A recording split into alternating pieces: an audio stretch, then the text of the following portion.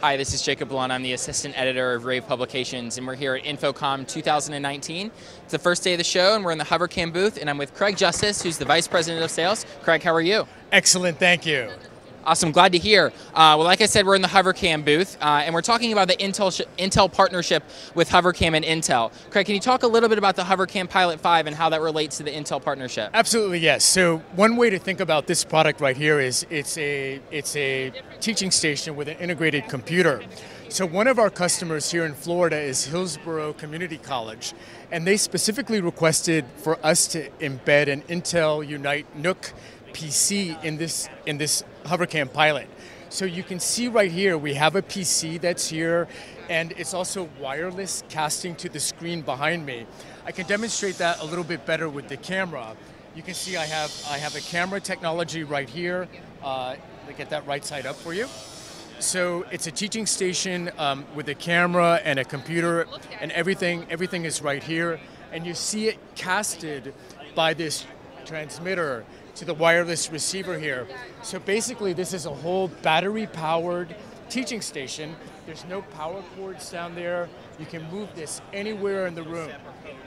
No power cords, no wires. It eliminates all the dangling um, cables, all powered by Intel Unite PC.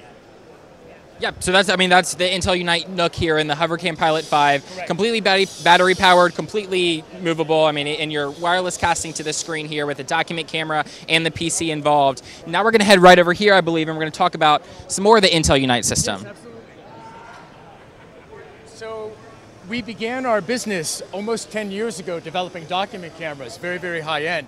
And I think it was just about three or four years ago when uh, Intel was coming out with this and they saw us here at InfoComm, and they saw this camera and they were like, wow, you know, we need to make this Unite compatible.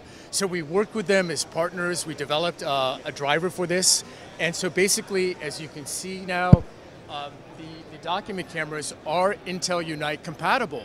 And it's a great solution even for K through 12 because it allows you know, the video conferencing and so forth uh, in a classroom setting. So Intel has actually been a very, very close partner with us and we're actually very, very proud to be their first um, document camera partner. I think it's been over three years now. Awesome, well congratulations on that. I mean, super awesome partnership. We're so glad to be able to talk to you. Where can we find more information about HoverCam? So please visit www.hovercam.com H O V E R C A M as in camera, hover cam. Awesome. Thanks so much, Craig. Uh, like I said, we're here at InfoComm 2019 with Rave Publications. You can find all of our InfoComm coverage at ravepubs.com slash InfoComm 2019. Craig, thanks so much. Thank you.